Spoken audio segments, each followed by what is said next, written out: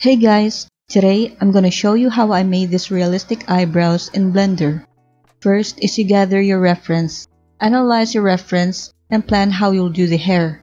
Here, I'd want to create a particle system for the main shape, another system for the lower hairs, then for the upper hairs and inner corner, and one system for this thick strand. I first duplicate the mesh from the head, subdivide and apply the subdivision modifier for more density. Go to weight paint and paint the area where you want the eyebrow to grow. For me, I want to paint with a weight of 1 on max strength first. Create a particle system and choose hair. For the emission, I just adjust the number and the hair length.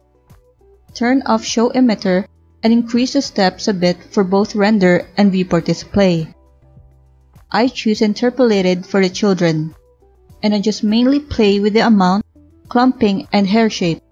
In some cases, you have to play with the roughness as well.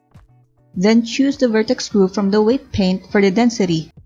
Go to particles and comb the hair. This is where I'll use a weight of 0 with lower strength to make the density smooth. For the lower hair, I lower the emission number, set the hair length, and increase the steps. I choose simple and I first play with the settings to see how it would look before I set the emission number to 0 and add each particles manually.